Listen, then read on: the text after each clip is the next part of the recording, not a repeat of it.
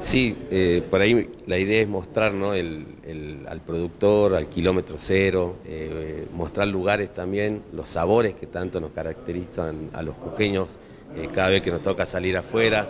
La verdad que esto de, mostrar al emprendedor, al artesano, al que se llega, la verdad que es muy importante para nosotros y sobre todo poder darle el, valor agregado que merece ¿no? ese productor que pasa mucho tiempo en el campo, que hace la producción y que después nosotros nos podemos lucir, digamos.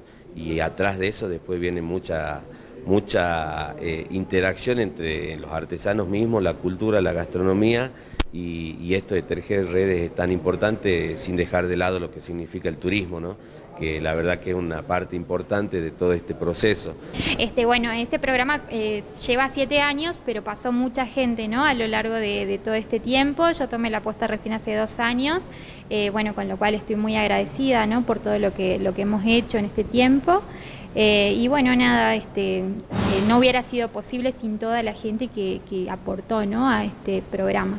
Y la verdad que para nosotros una importancia bárbara, grandiosa, porque era un trabajo que veníamos haciendo hace ya siete años.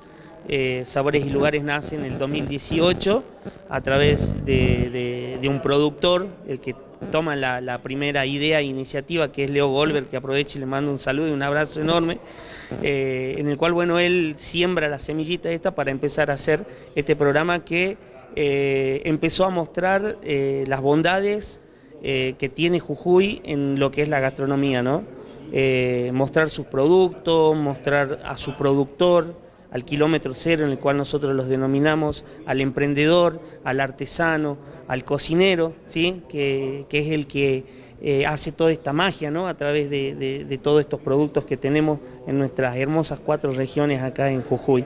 Y bueno, empezamos a salir a lugares, empezamos a visitar diferentes tipos de lugares de, nuestra querida provincia de Jujuy, bueno, y así ir mostrando un poquito eh, al cocinero, visibilizando eh, al emprendedor, al productor, al artesano, eh, porque esto también sabemos que impacta en lo que es el turismo, la cultura y nuestras costumbres.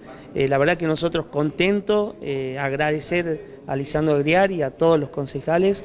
Sí, efectivamente, la verdad que bueno, es un gusto para el Consejo Deliberante poder de alguna manera difundir este trabajo que desarrollan particularmente eh, cocineros eh, de nuestra ciudad y que realmente han tenido difusión tanto a nivel local como a nivel nacional e incluso internacional. La verdad que el programa Sabores y Lugares eh, de alguna manera difunde nuestra gastronomía, difunde nuestra cultura, difunde todo lo que es Y en ese sentido nos pareció muy importante acompañarlo del Consejo Deliberante y con el apoyo de prácticamente todos los concejales pudimos emitir esta declaración que declara justamente de interés municipal este programa de Canal 2 eh, que realmente le hace muy bien a la televisión local pero también a nuestra cultura.